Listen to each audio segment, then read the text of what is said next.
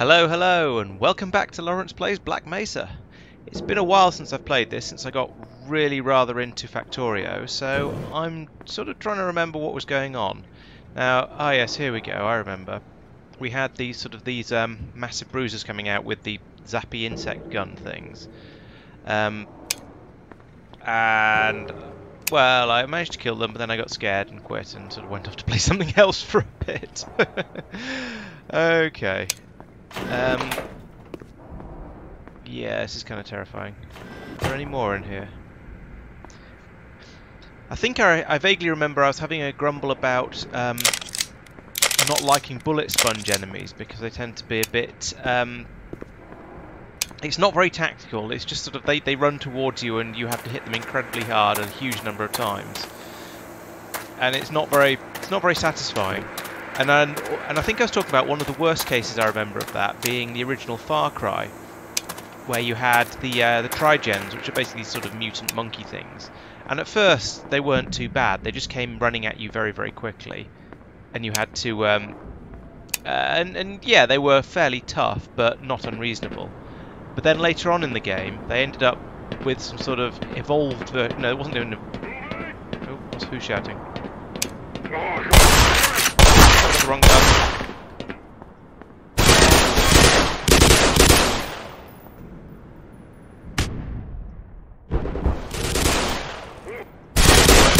I didn't realise that was a grenade because it came so far. I thought it was just random sparks or something. Or I might have retreated from it a little bit. Um,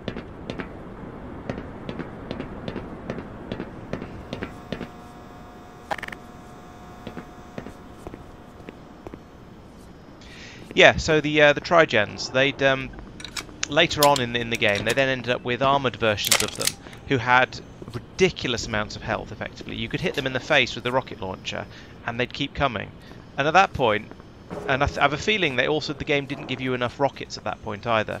So, to be quite honest, it just stopped being fun. That is an absolutely horrible dissection robot machine. Uh, forgotten the controls this game. No, I can't open the door. It's just some um, scenery.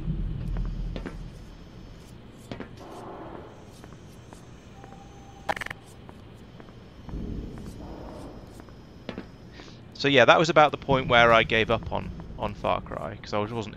I'd stopped. I stopped enjoying it basically. I don't know which way I'm supposed to go, and therefore which way I should go first. Is this a dead end? Yes. Okay.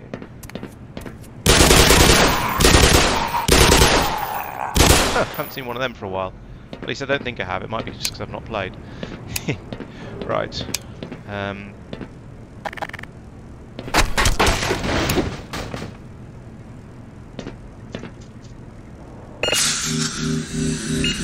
Ah, that's better. I don't really remember if Half-Life had a similar problem with bullet sponges. Well, I guess we'll find out when we see how many of those big, tough alien critters start showing up.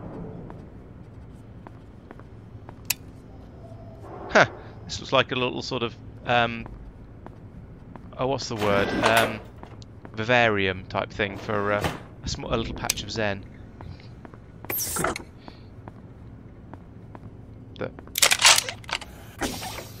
okay.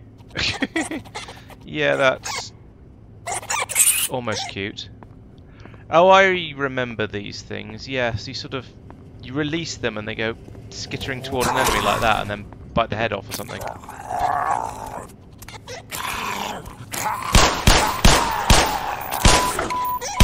Minor laceration. Oh, for goodness sake. and they're too bloody small to hit. And then they explode. Right, okay. Let's not do that again. Let's not use them on aliens, because I suspect... May maybe they'll go for... Um, uh, how much blood is there on the floor there? That's disgusting. Um, yeah, let's try and restrict those to human en enemies.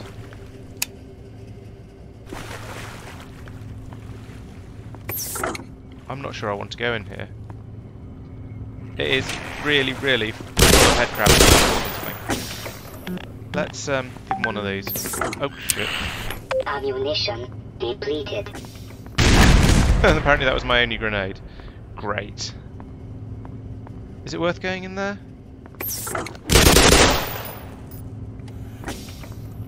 I'm not sure. I feel like I should. Sort of 100%ing kind of way. But...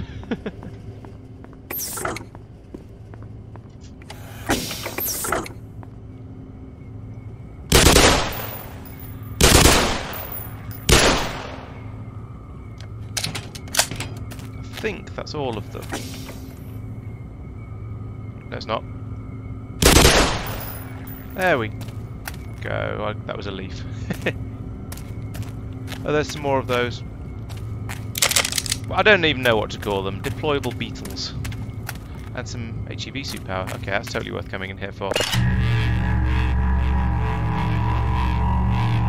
I suppose in a way you can look at it as I spent a little bit of ammunition and a little bit of health to get some more skittery beetle jobbies and some armour. And that's probably worthwhile because I think health tends to be a lot easier to come by than armour does. Because the game, I think I've, I've, I've, talked about this before. There's the idea that if you if you give the player health, you're bringing them up to 50% of sort of protectedness. If you give them armour, if they're doing well at least, you're taking them up to 100% of protectedness. There's two ways to go here. What's it? Weapons research. That sounds fun. But also, oh, I don't know which way I should go. Let's see if this comes to a dead end.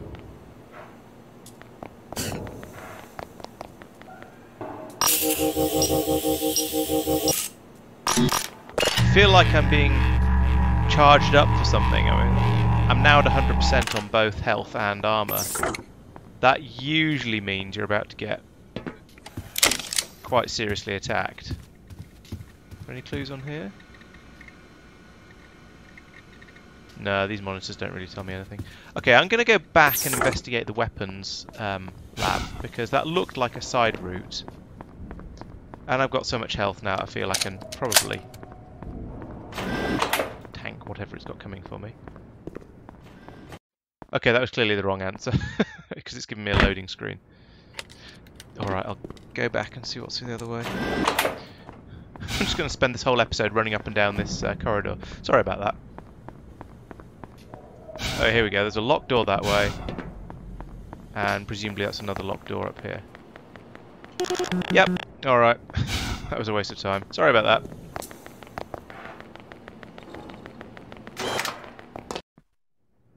Let's have a quick check all my guns are loaded before we go any further, just because it seems like a good idea. Yep, crowbar's fully loaded.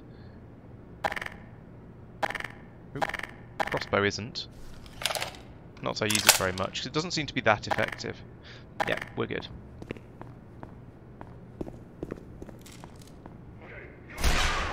That sounds like Marines having a bad day. Make their day a bit worse?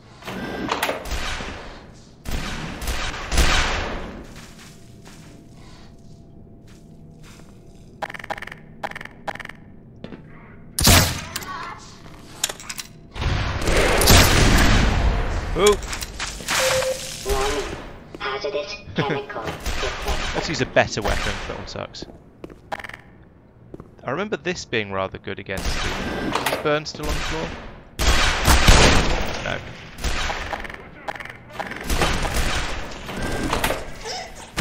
Have a few of them, see if they're any good.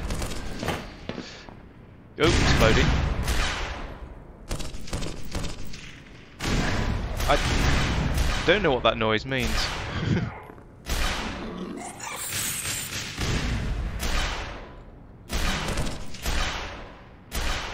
I mean, there's...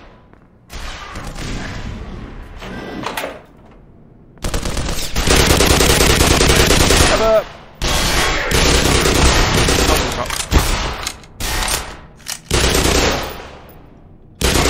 Ow, feels like a shotgun. Yeah, definitely. uh... The Marines are always that little bit too tactical. oh well, there's my rest of my armor back. 85%. I wonder if releasing those skittery creatures... Ooh, laser. Ooh, it does something. What am I going to zap?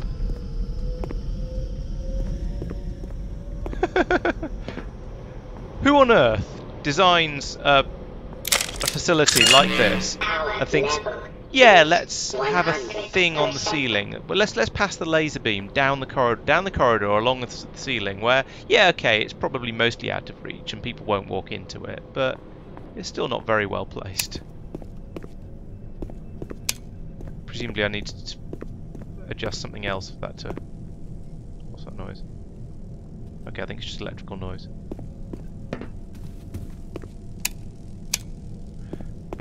Okay, here's so here's a diagram. This is uh, obviously for time travel.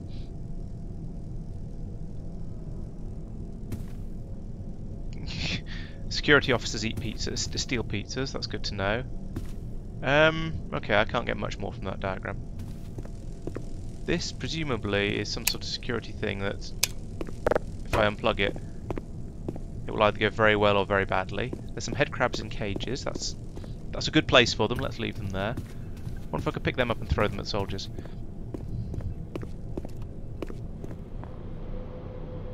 Fan still got a laser going into it, but not doing anything else. Okay. I think I am. Man, I'm hungry. What do we eat?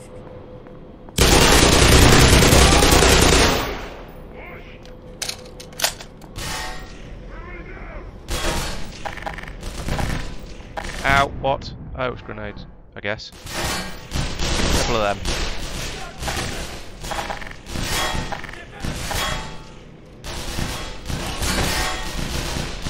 Stop shooting! I want to return fire. Goodness sake.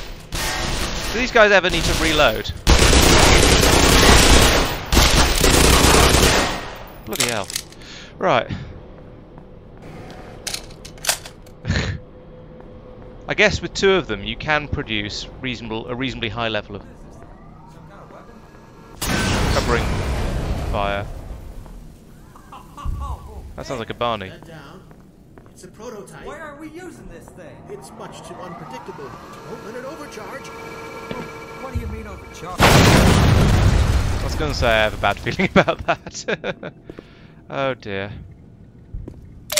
However, that's a nice, nice new weapon. Um, no, what I was going to say.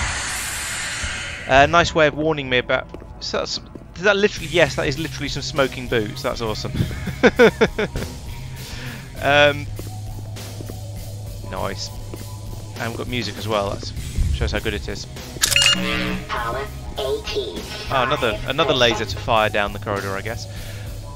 What I was trying to say um, before the music so rudely interrupted me is that that's quite a nice way of introducing me to the to the weapon, and also sort of telling you that if you overcharge it, then it will blow up in your face and turn you into the aforementioned pair of smoking boots.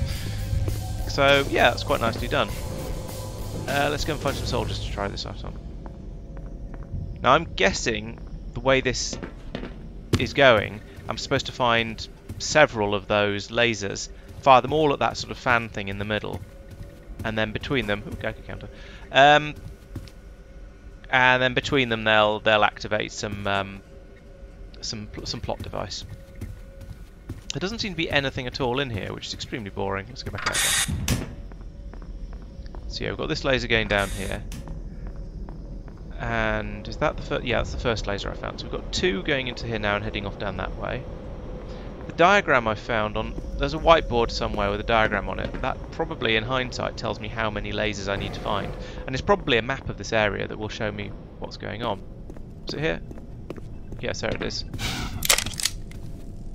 So we've got.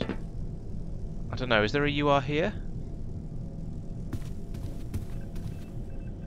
Big long linear. Okay, so that's probably this thing in here. So we've got this this laser and this laser coming down here, and we then need to go and so we need to go off and find that one and that one, and then it'll fire into here and maybe I need to plug that back in. I don't know. We'll see.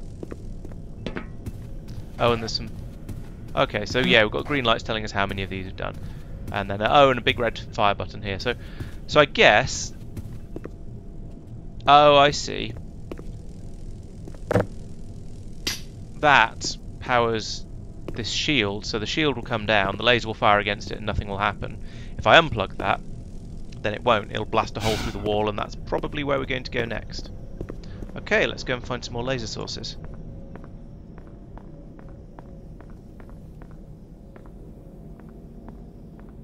It's kind of quiet around here. I hear bull squid. No, not bull squid. The um, sonic sonic hound Power things. level is 100%. Nice. That might actually keep me alive for a minute or two. Find those sonic critters, and I can try out my new gun.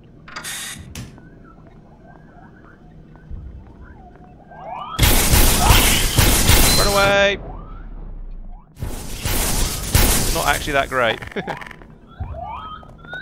Far more effective.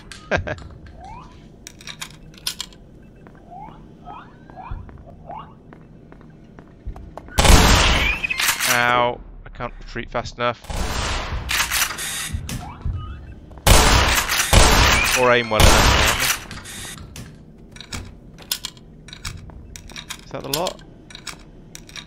I don't hear anymore. I did manage to take out a couple with that burst of, um... Is it a Tau cannon? I, forget. Oh, I miss the outside world. I wonder if I'll get there at some point. I don't remember. I don't remember whether um, uh, Half-Life ever lets you get back out into the real above ground and play around a bit. I suppose there were a couple of bits when I was fighting some of those um, soldiers, wasn't there? I'm not going to step in that. That sounds like a very bad idea.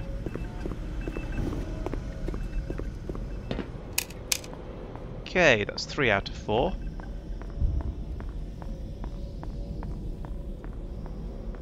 So the last one's in here, presumably. What's further down the corridor? A little bit of ammo, probably from some dead marines. It'd Be kind of dark in here if it wasn't for this glowing spit. Right, last laser. Where's the on button? Here we go. Can of WD-40 with a um a slightly different name, shall we say?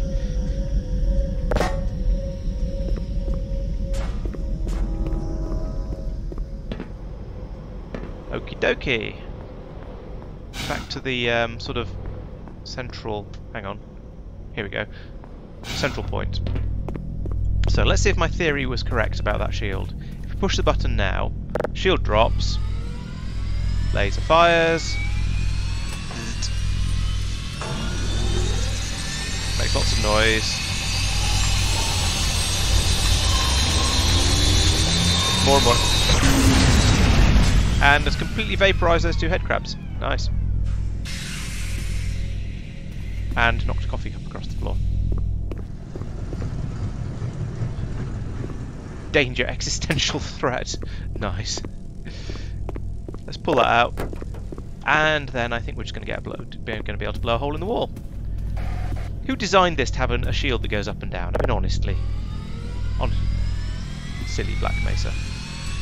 Then again, fire again. I'm staying behind them to protect the shield for this bit.